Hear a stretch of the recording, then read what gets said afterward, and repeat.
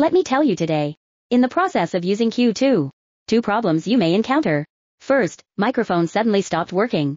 Look at the indicator lights on the two microphones, whether they are all blue or red. At this time, you need to change its AB channel. Pick one micro phone at random. Long press this set button until it changes to a red light. The green light on the receiver is also on. This proves that the AB channel switching is successful. Another question is how to switch the frequency. I think this frequency has interference, so we take out the microphone that has interference. Short press the set button, you will see a red light flashing, this green light will also flash. At this time, the frequency has been successfully changed. The same goes for the other microphone. It's very simple, have you learned it?